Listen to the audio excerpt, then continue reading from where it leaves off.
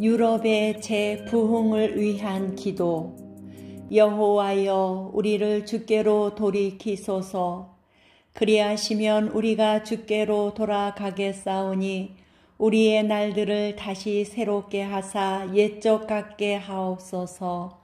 아멘 하나님 아버지 1세기 기독교 탄압과 핍박 속에서도 놀라운 복음 전파와 교회 성장을 이루었고 16세기 종교개혁 이후 프로테스탄트의 부흥을 통해 부강케 된 유럽 국가들이 물질의 풍요를 영적 타락으로 바꾸었음을 회개하고 주님께 돌아오게 하옵소서.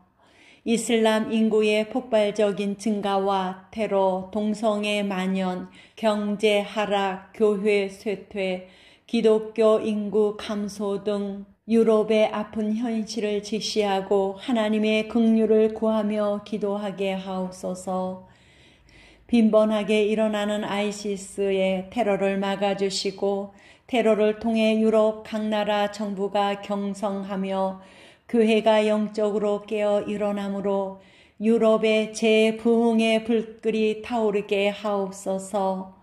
유럽의 한인 교회에 성령의 기름을 부어 주시고 유학생들에게 주님의 비전을 보여 주시어 유럽을 향한 하나님의 꿈을 이루어 드리게 하옵소서 예수 그리스도의 이름으로 기도드립니다. 아멘.